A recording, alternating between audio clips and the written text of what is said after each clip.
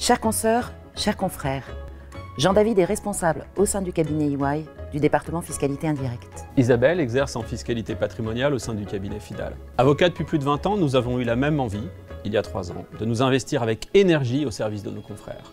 Et à l'issue de notre premier mandat, riche en rencontres et en échanges, notre envie est intacte. Nous sommes donc très heureux de solliciter à nouveau vos suffrages pour vous représenter ensemble au sein du Conseil de l'Ordre.